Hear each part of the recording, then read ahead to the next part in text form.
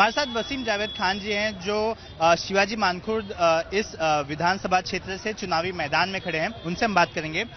किस तरह का जोश है आप में और आपके कार्यकर्ताओं में? जिस तरह के समीकरण फ़िलहाल मैदान में आपको दिखाई दे रहे हैं। आज़ादी के पहले जिस किस्म का जोश था एक एक कांग्रेस के कार्यकर्ता में, उसी किस्म का जोश, उसी पैमाने का जोश हम सब में है।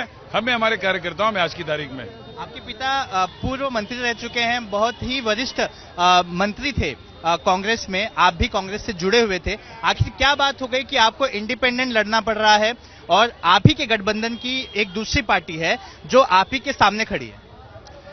संविधान को बचाने के लिए हाईएस्ट लेवल पर जो डिसीज़न लिया जाता है, हम समझ सकते हैं, पार्टी की अपनी लिमिटेशंस होती है। पर यह बात आपको हम कह सकते हैं, पूरी सच्चाई के साथ कि हम कांग्रेस और कांग्रेस के हाईएस्ट लेवल पर लोग चाहते हैं कि हम ये लड़ाई लड़ें, क्योंकि कांग्रेस लोगों के बारे में सोचती है, लोगों के लिए लड़ती है।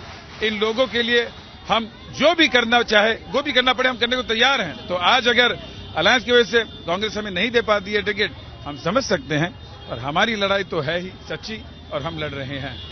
लोगों को भी समझना पड़ेगा। जैसे आप कह रहे हैं कि आप लड़ रहे हैं संविधान को बचाने के लिए, महाविकास अघाड़ी का जो घटक दल है समाजवादी पार्टी अबू आजमी आपके सामने खड़े हैं। मान लीजिए कोई बड़ा नेता आता है तो क्या वो वोट के लिए जो मांग करेगा वो अबू आजमी के लिए करेगा कि वसीम खान के लिए हम किसी से उम्मीद नहीं करते हैं कि कोई आके हमारे लिए, हमारे हमसे वोट मांगे, हमारे लिए वोट मांगे। हम हैं गोवंडी, हम है मानकुट शिवाजी नगर, और यहाँ का हर कार्यकर्ता, हर साथी हमारी तरफ़ से हमारे लिए वोट माँगता है और हम उनकी तरफ़ से, उनके लिए वोट मांग रहे हैं क्योंकि हमारा वोट जो वो हमको देते हैं वो उनके लिए है। वसीम खान अगर जीतते हैं तो क्या कांग्रेस के साथ जाएँगे? ऑफकोर्स और कहा जा सकते हैं हम? हम तो हैं ही कांग्रेस। कांग्रेस को हमसे कोई निकाल नहीं सकता और हम कांग्रेस को कभी छोड़ नहीं सकते दोस्त। कटेंगे तो बटेंगे बहुत चल रहा है। इसे किस तरह से देखते हैं आप? आ, आपके साथ जो लोग दिखाई दे रहे हैं एक पर्टिकुलर कम्युनिटी को लेकर बार बार कहा जा रहा है कि बटेंगे तो कटेंगे। फिर मोदी जी आके कहते हैं कि एक साथ रहेंगे तो सेफ़ रहेंगे। लड़ाई लड़ी जाती है सोच के लिए दोस्त। कटेंगे ये वो इस चीज़ को देख करके नहीं लड़ाई जा, लड़ी जाती है। ये कोई नंबर्स का गेम थोड़ी है। ये लोगों की ज़िंदगी है। लोगों की ज़िंदगी में अगर हम अपनी आँखों से देख रहे हैं इतनी सारी तकलीफें हैं तो गवारा नहीं करता हमें पीछे हटने से। और वोट कटना बढ़ना भाई कोई भी इलेक्शन में लोग लड़ते हैं तो वोट तो कटता ही है बढ़ता ही है।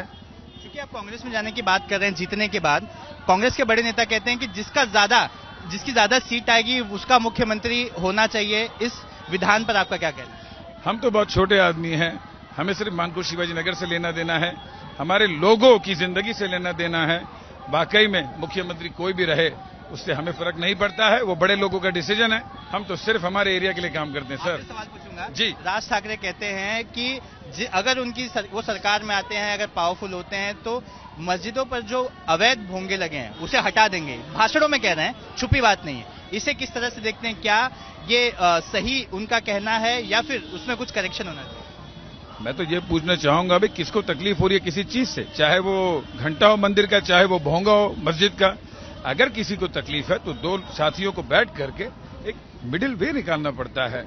ऐसा तो नहीं है कि किसी के कस्टम्स के ऊपर आप जिद करें क्योंकि हम सब साथी हैं यहाँ पर हिंदू हो मुसलमान हो शिया हो सुन्नी हो देवबंदी हो।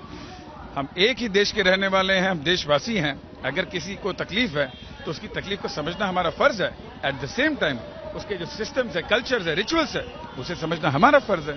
तो मिलजुल करके, बात करके, साथ में बैठ करके सोल्यूशन निकलता है।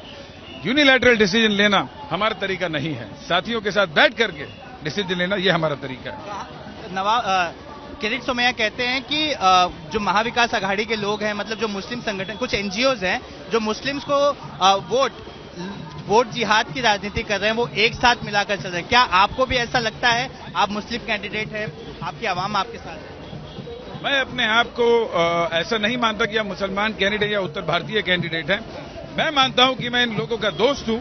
ये हमारे दोस्त हैं और हम इनके रिप्रेजेंटेटिव हैं। चाहे वो कोई भी कास्ट कम्युनिटी का हो। हमारी सोच सिंपल है। साथ में सबके चलना बहुत ज़रूरी है। अगर कोई गलत फहमी है तो बैठ के सॉल्व करना बहुत ज़रूरी है। विजय के साथ For exclusive and insightful videos, subscribe to our new channel ABP Live Premium.